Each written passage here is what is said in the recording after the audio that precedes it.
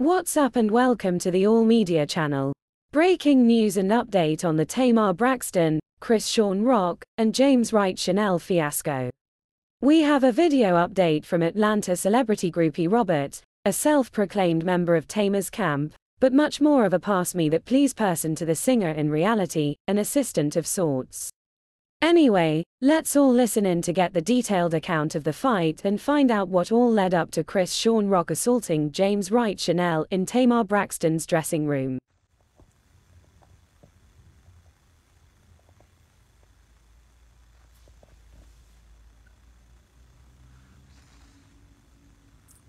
I guess we're just giving everybody a second to um to come on in the room. God, I hate that I even have to do this. I hate that I even have to do this, but I I'm gonna tell because I'm gonna tell the truth and what the truth is. So I'm gonna give y'all a second to, to roll through real quick.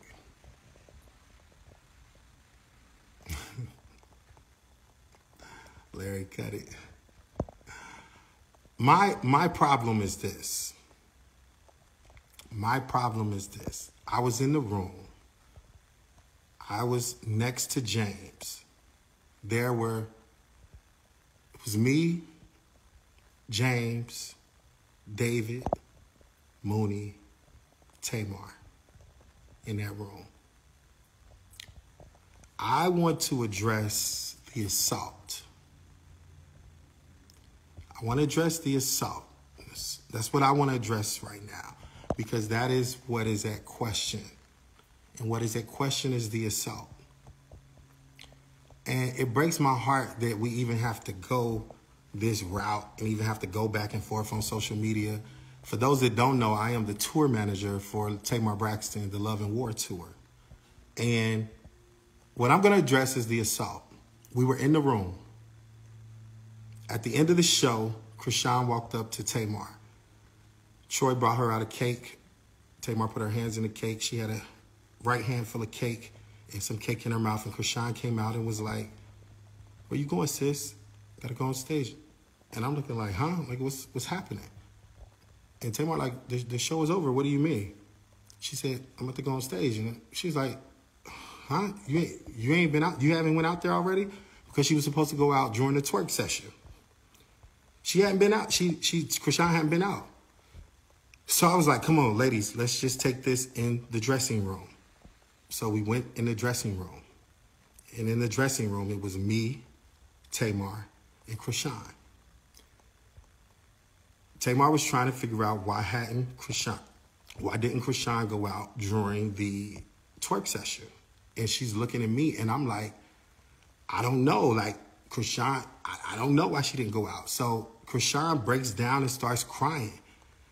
And I felt bad, and the Holy Ghost in me, because I carry it everywhere with me, I began to give her a hug and everything like that, because I like Chrisean. I like her. And, you know, and I was like, I don't want to see nobody with their feelings hurt, or I don't want nobody feeling some sort of way because there was a big line of miscommunication that took place. So I began to try to comfort her and, and hug her and be like, no, don't cry because it's not that, you know what I'm saying? We nobody was trying to, I don't want you to feel no sort of way. And this was just in the dressing room. And this was me, Chrisean, and Tamar at the time. As the time went on, Chrisean was explaining that this happens to her all the time and she felt some sort of way because she felt embarrassed. She felt embarrassed and she felt like, you know, that this was just like, shouldn't happen to her because, you know, she was just prepared to go out during the twerk session and that time had come and she didn't go out. So Tamar is still asking, like, well, what happened? What what happened? Why didn't she go out? And I'm like, I'm trying to figure out what happened too. So um, David and Mooney come in. They both do makeup. And we're all at this point talking about what happened. Tamar is saying, Mooney, what happened? Da, da, da. Mooney was saying that Chrisean was not on the side of the stage when it was time for the twerk part. Mooney is a choreographer and he also does makeup. Mooney was saying Chrisean was not on the side of the stage. So like, well, what happened? What happened? Well, who was who was who was there? Who can like what? Everybody's screaming, what happened? What happened? At this point, Chrisean is like, yes, I, I was on the side of the stage. I was there, and I was like, okay. And I'm me, I'm trying to calm everybody down. Just let's do this uh, a peaceful conversation because Chrisean is upset. She's very upset, and I'm like, okay, I get it. Like, okay, let's calm down. Like everybody, let's talk this thing out or whatever. And then um, a few more talking, talking, talking, and then James comes in the room. So at this point, it's me, Chrisean, David, Mooney, Tamar, James. James comes in the room and notices that Chrisean is upset. By the mirror, Chrisean is on the right hand side. James is right next to her. He was consoling her, and I was literally right next to James. And Tamar asking James, well, what happened? Why didn't Chrisean go out there during the twerk session? And James said, we was looking for her on the side of the stage, and she was not on the side of the stage. And Chrisean got very upset, and she was like, I was on the side of the stage. I was there. Where, where else would I go, man? You lying? Like that's cap. I was I was on the side of the stage. Like I was there on the side of the stage. And James said, No, no, you you wasn't. We called for you there. Chrisean said, Say I say I wasn't there one more time. Say I wasn't there on the side of the stage one more time. James was like, I'm telling you, we was calling you and you. I'm like, oh shit. Literally happened just like that. And here I am, like, this girl just hit this boy a couple of times with them big ass rings on her finger. And I'm just like, no, this is not happening. This is not happening. This is not happening. I get Chrisean to the other side of the room. At this point, James' face is leaking with blood. She going off saying, man, that's cap, that's cap, da da da da da. Everybody is shocked. And I mean shocked because mind you, I like Chrisean. I'm still at this moment trying to de-escalate everything. Like, I don't want this to go left. Like this is this is crazy. This is all craziness. And I'm like, Chrisean, you gotta calm down. Everybody, you gotta calm down. Like this, every it's a lot of yelling. At this point, Mooney and James, get her ass out of here. Da, da, da, You know, I'm like, okay, everybody calm down. I got Chrisean on my right hand side. Now she's at the back, the, the door is right there. I'm blocking Chrisean on here. Cause at this point, she on go. She like, well, what's up? Like her defense is all the way up now. And people trying to get in the door. And I'm stopping people from coming in the door. Troy was one of the people that I stopped from coming in the door. And I'm like, okay, y'all, let's, let's, we got to talk this out. We cannot, this is crazy. Tamar walks over to Chrisean.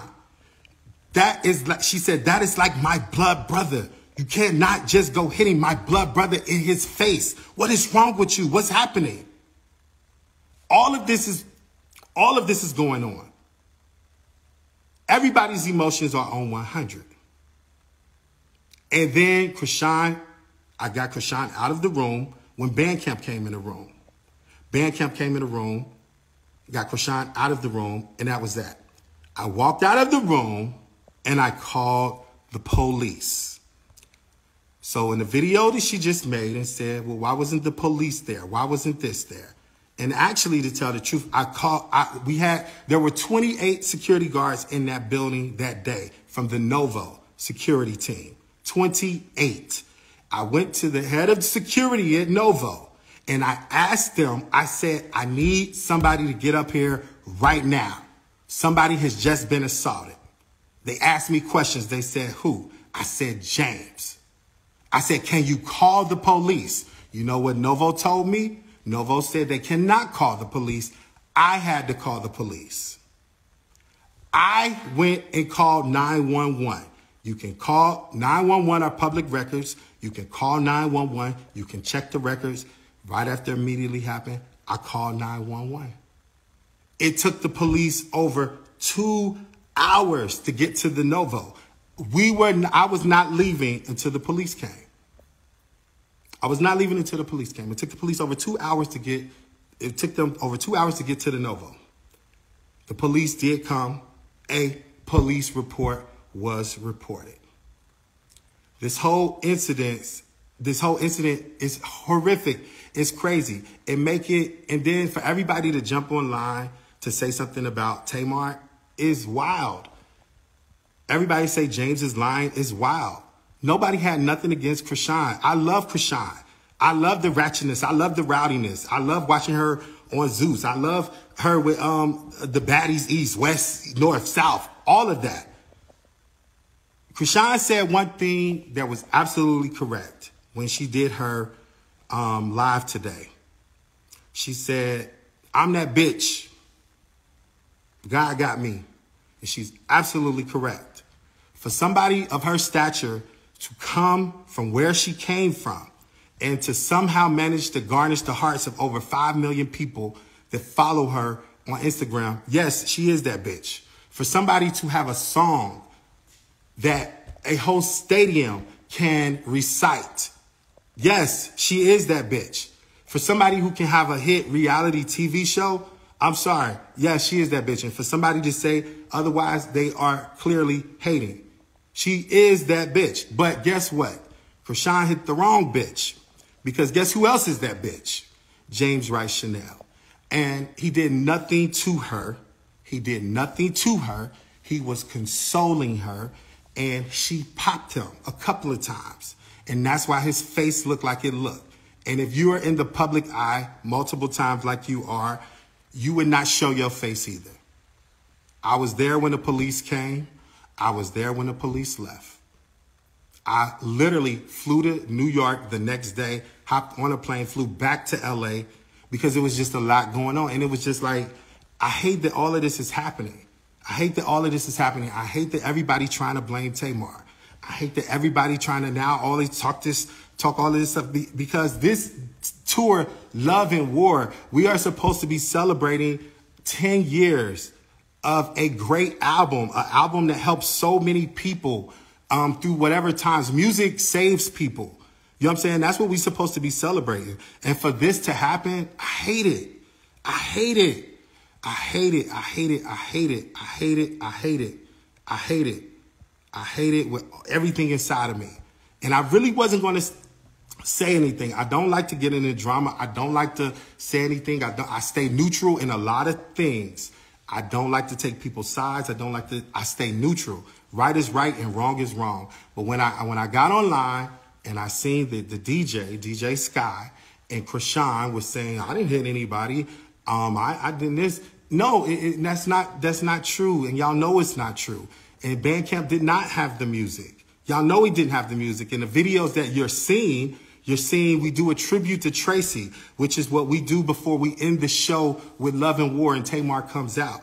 How did Chrisean get the microphone? Because the iconic, legendary Toni Braxton was had a microphone on the side of the stage, and when she walked off the stage on her set, she had that microphone still sitting over there. That's how she got that microphone because that microphone was on the side of the stage. She was not supposed to come out on Love and War. Love and War is the ending of the tour. So when she's out there, of course, what is Tamar supposed to do? Hey, y'all, this is my sister. Da, da, da. Tamar had no idea she hadn't came out there before because Tamar was, in the back or whatever. DJ, the, the Bandcamp did not have the music. As you see, she was up there trying to airdrop the music to him. I'm the one who told DJ Sky to get off of the stage because at that point, I really honestly didn't know what was going on. And I was like, yo, you got to get off the stage. This is a whole production going on. Like, what are you doing? Like, you got to move. And she she wasn't taking to what I was saying. She's like, I'm DJ Sky. I'm Chrisean's um, DJ. And I was like, oh, okay, you got to go, though, because we in a show, babe. Like, you got to go. And when I tell you I was I was being nice and and I'm not taking no sides or anything like that. My spirit, everybody who knows me, you can try the spirit by the spirit. You know me. You know me. You know me, and I am not a mean person. Now, I, I can have some choice words, but in this case, I love Chrisean. That's the crazy thing. I love it. But it wasn't a vibe that night. It was just like, it was like horrible. And I, and I just wish um, that it was a vibe because it would have, you know, been great. The outcome would have been great. But it was like, here's the thing with that. When people say clout chasing, um, Tamar has sold millions of albums. Like we, nobody has to clout chase. This tour, this tour, the LA show was sold out weeks before we even got to LA. Weeks before we got to LA, the show was sold out.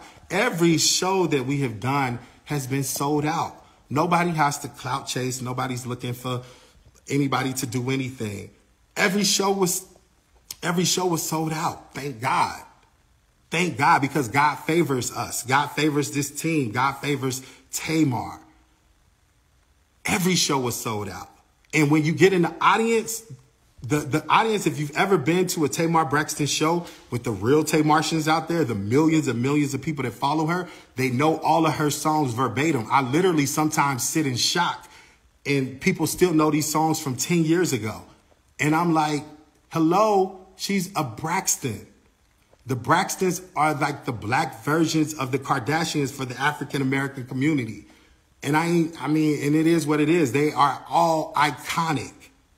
They are all iconic and everybody knows who the Braxtons are.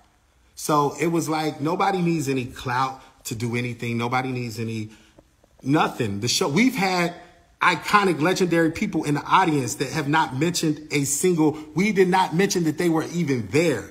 They were just coming to see the show. Nobody needs anybody named to see a show. I hate that all of this is misfortunate. I hate, I hate it. I hate it. I hate it because everybody, and I look at everybody as a, as a good person. I don't see the evil in people. And sometimes that's my problem as tour manager because I do know that there are evil people in the world. And I just wish all of this would go away. And the only reason I am saying something and I got on here because my friend is injured and he is hurt mentally and physically. And I don't like that because we came to do a show. We came to get the people what they wanted. The people um, had an amazing time at the show. Everything was great. And then to hear somebody say, oh, um, whatever she said, be careful or something like that. Baby, let me tell you something. Let me tell you something. You say you love God and God is this. The weapons will form, but they will not prosper. The weapons will form, but they will not prosper. And sometimes what people really need in life is a good, good, good reality check. And as much as I love Chrisean and as much as I love the ratchetness, there is a time and a place for everything. And it really, really, really was a horrible, horrible situation. And I'm just like, you make it, and, and Tamar really, I'm like, it was like damned if you say something and damned if you don't. She was, you know, trying to say something so that everybody won't think that, okay, well, what type of friend is her? She not saying anything. But it's like, I knew all of this shit would happen. Like I knew every, everything that's happening, I knew would happen because I know how social media can take something and run with it. I know how social media can take something and run with it. But no, the police were called. The police were called. I called the police. I called 911. If anybody wants to go get the records, I'm sure you can pull them up um, from the Los Angeles County or whatever district we was at the Novo and pull them up and go go hear it for yourself, you know. And and I was not the only one that called 911. Chris Sibley called 911 as well, you know. So I don't worry about people threatening and doing anything or doing anything like that because let me tell you, the joy of the Lord is my strength. And one thing about this team over here, the Holy Ghost provide the Holy Ghost is, is with us throughout all of the way. For, for, for that, for this particular tour to sell out all of the shows, and she has not did this album in 10 years, you know, that ain't nobody but God. That ain't nobody but God. Nobody but God. And one thing that I don't really worry about or worry about anybody that I deal with is God is walking with them and God is talking with them. And I want to end this live on a prayer. I want to pray for Chrisean. I want to pray for everybody that's involved in this situation because at the end of the day, God is going to get the glory out of this somehow, some way. God is going to get the glory out of this somehow, some way. Chrisean, if you're listening to this, I know you know this face because I was the one that was giving you a hug and telling you everything's going to be all right. And guess what? Everything still is going to be all right because there's some issues and things that I feel that you probably need to deal with that people have done you wrong for such a long time. You take the anger out on the wrong people. We were there to love on you. Nobody was hating. Nobody was doing anything else. Everybody's turning this into something that is not. You have been hurt for so long by so many people, used and abused, and it's not fair to you. It's not. And it's not fair to the people who get the end of the stick of you arguing. So we're going to end this in prayer. Father God, we come to you today. God, tell you, thank you. Thank you for waking us up this morning. Thank you for uh, keeping our eyes um, closed when we go to bed at nighttime, God. God, somebody didn't wake up this morning and we woke up this morning. And so while we have the activities of our limbs, God, we just want to tell you, thank you, God. God, we just want to tell you thank you for every gift that you has that you have given us, God. God, we just want to tell you and ask a prayer over Chrisean right now in the name of Jesus, God. God, keep her mind, God. God, keep her heart, God. God, let her know that everybody is not out against her, God. God, pray for Tamar right now in the name of Jesus, God. Pray for all the darts and all the enemy is trying to come after her. Let them not get to her, God. Let keep our mind, God. Keep this second leg of this tour, God. Keep our mind focused on what we came to do, God. God, I ask that you say a special prayer for my friend James. A special prayer for my friend James, God. I know that this was traumatized him and I know that he's going through it right now, but God, we know that with you, all things, the good and the bad, all things work together for the good of us that love the Lord. And God, right now, that's what we focused on right now. I ask that you make a shift, God. Shift the conversation, God. Shift the atmosphere, God. Shift what's going on in the internet, in the internet world, God. Shift it. Shift it so that they can see that you're going to get the glory out of all of this. I'm not going to yell your name and act one way and act another way, God, because that's not what you called us to do. God, you blessed us beyond measure. Some of us, some people can't wake up and pay their car note and pay their house note and pay their mortgage and pay this. But God, you touched us, me, Chrisean, Tamar, James in ways that we don't have to worry about some of those things. And for that, we tell you, thank you. God, be with the internet. Be with the stories. Be with the false narratives, God. In Jesus' name, this ends tonight. Amen. And I ask that all of y'all, whatever you do, Whatever you do, be mindful. My pastor always says the words that come out of your mouth live in your future. So choose your words wisely. All right, you guys, tell us what do you think about all of this drama? Was Chrisean wrong? Should she be arrested and charged with assault? What would the consequences be if James had attacked Chrisean? Should Tamar have fought Chrisean for attacking James? Did Tamar fail to protect and defend someone she allegedly considers to be like a blood brother to her? Do you guys even believe this version of the story or is Tamar's alleged manager just clout chasing and being messy as usual? Let us know your thoughts and be sure to like, share this video, and subscribe down below. Thank you for watching the All Media channel.